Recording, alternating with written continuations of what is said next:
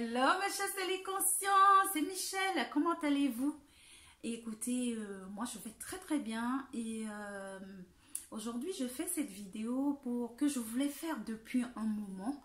En fait, euh, pour vous partager, pour vous ouvrir un peu ma, ma bibliothèque et partager avec vous les livres que... des livres que j'ai lus et qui m'ont qui m'ont qui, ont eu un impact pour moi, que j'ai trouvé très intéressant, plus qu'intéressant, qui ont vraiment, qui sont venus me chercher et qui, euh, et, qui m'ont fait bouger. Donc, euh, je me dis, c'est une bonne opportunité que j'ai là de, partager avec vous et aussi vous donner l'occasion de, à votre tour, dans les commentaires, de, partager avec, euh, avec nous les livres que vous avez lus et qui, qui, vous ont, qui vous ont apporté, qui vous ont inspiré, etc. etc. Euh, donc aujourd'hui, euh, j'ai sélectionné trois livres de ma bibliothèque que je montre comme ça déjà. Et ensuite, je vais passer rapidement là-dessus. Je vais commenter, euh, je vais pas commenter très en profondeur. Hein. Euh, je vais renvoyer soit sur mon site parce que j'ai écrit un article là-dessus, soit j'ai une interview et euh, voilà, vous laissez découvrir. donc, je vais commencer par ce livre-là. De Lilou Massé, je suis célibataire et ça me plaît. Euh, moi j'ai trouvé, c'est vraiment l'un des livres qui m'a vraiment, vraiment, vraiment touché. Il y a des moments, j'avais l'impression que je pouvais écrire ce livre. En fait, c'est l'histoire de, cette jeune femme, Lilou Massé, que je crois la plupart d'entre nous euh, euh, connaissent. Sinon, si vous la connaissez pas, ce sera l'occasion d'aller la découvrir. Et en même temps, ben, Aruna Lipis, qui est euh, en préface du livre. C'est vraiment deux personnes, que deux femmes que je trouve extraordinaires, euh, euh, qui ont beaucoup d'impact et qui, moi, m'inspirent énormément. Donc, je suis célibataire et ça me plaît, en fait, dans ce livre. Lilou Massé raconte son, sa quête de l'amour, en fait. Et en allant la quête de l'amour, en fait, c'est elle-même qu'elle s'est découverte. C'était en fait une quête vers elle-même en, vrai. Et euh, donc elle raconte, mais vraiment en toute authenticité, il faut le faire. Hein. Elle s'est vraiment mise à nu. Elle a parlé euh, de, sa vulnérabilité. Euh, elle a parlé, mais vraiment, on, sent que c'est du vécu. moi, je me suis beaucoup reconnue dans ce qu'elle a écrit. Beaucoup de personnes aussi, j'ai eu une discussion autour du livre avec beaucoup d'autres personnes, d'autres femmes qui se sont reconnues euh, dans ce qu'elle a écrit. Seulement elle, elle a eu le courage ben, de dire, de partager ses faiblesses, ses espoirs, ses doutes, ses souffrances, ses blessures. Et finalement, vraiment, en, cherchant l'amour, en fait, elle s'est, elle s'est, enfin, cette découverte, on dirait encore plus, elle a appris à s'aimer et euh, jusqu'aux dernières nouvelles, aujourd'hui, euh, l'homme, enfin le partenaire de vie qu'elle, euh, elle, décrit dans ce livre, qu'elle, aimerait avoir, hein, aujourd'hui, ben, il faut croire que son, son partenaire actuel répond à ses, enfin on va dire, à son, elle a trouvé le partenaire idéal pour, euh, pour elle. Mais c'est passé par vraiment cet amour d'elle-même, quoi, comme je le dis, euh, je le dis et, c'est mon credo. Connais-toi toi-même et tu reconnaîtras ton partenaire idéal. Donc, euh, je suis célibataire et ça me plaît. C'est vraiment un livre que je recommande chaudement. Ordonnance de docteur Michel à, euh, aux célibataires. Voilà. Euh, et d'ailleurs, à ce propos, j'ai fait un article où j'ai extrait 20 citations qui m'ont inspiré euh, du livre. Donc, je mettrai le lien pour que tu ailles voir cet article et que bah, peut-être en, lisant les citations, tu auras envie d'aller plus loin et euh, te procurer ce livre. Et d'ailleurs, sur le site, je crois que j'ai un lien euh, vers Amazon où tu peux cliquer pour te procurer. Je suis célibataire et ça me plaît. Voilà. Donc, pour ça, c'est fait. Ensuite, un que j'adore aussi, c'est euh, gagner au jeu des échecs amoureux. Ah, j'adore, je kiffe. J'ai tellement kiffé ce livre que euh, quand je l'ai lu, j'avais même pas fini de le lire. J'ai lu le résumé. En plus, je l'ai acheté à un moment où j'ai dit, je me suis promis de ne plus acheter de livres. Mais ce livre, il, est, venu, il m'a appelé. Euh, donc, c'était à la FNAC, je l'ai pris, j'ai commencé à le lire.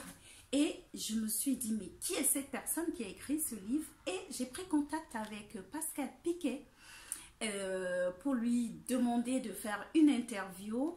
Euh, ça tombait à pic parce qu'elle était au salon du livre et elle m'a dit, ben écoutez, avec plaisir de faire une interview avec vous. Donc je suis allée la voir, c'était l'année passée, ça passe tellement vite, je crois que c'était l'année passée.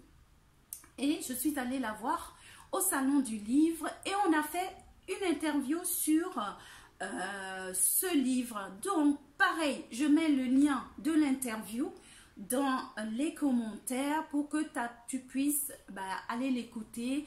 Elle en dit un peu plus sur le livre, mais même quand on ne s'y connaît pas en jeu d'échecs, c'est tellement... Elle a tellement, elle a fait l'analogie entre le jeu des échecs et la relation amoureuse. Et euh, c'est écrit avec beaucoup d'humour, en toute simplicité. Enfin, moi, j'ai vraiment, j'ai kiffé. Je connais pas trop le jeu des échecs, du coup. Ça m'a donné même envie de, de, jouer aux échecs. J'ai commencé, mais bon, pour l'instant, j'ai arrêté. Mais à chaque fois, je, jouais, j'en jouais un tout petit peu. Hein.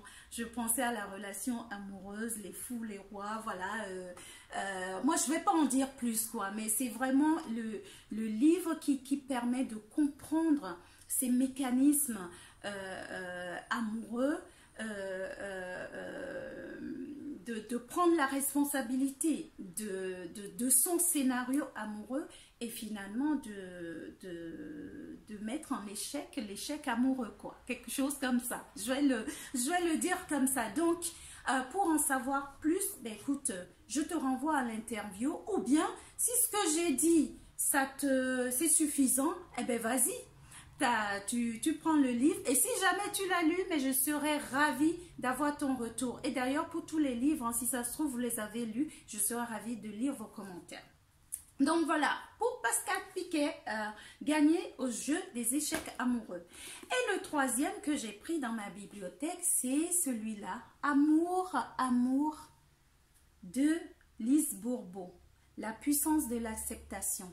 C'est vraiment un livre que moi qui m'a beaucoup, beaucoup, beaucoup touchée. J'ai beaucoup pleuré. Euh, je sais qu'il y a des moments, j'étais émue aux larmes par les histoires parce qu'en fait c'est l'histoire de oui l'acceptation de l'amour en fait c'est vrai amour de soi amour de l'autre acceptation de soi l'accueil de son enfant intérieur l'accueil de ses blessures euh, l'accueil euh, des blessures de l'autre enfin euh, la, notion de responsabilité aussi est beaucoup abordée dans ce, dans ce livre. En fait, dans ce livre, Lise Bourbeau, elle a relaté tout simplement des, euh, séances d'accompagnement.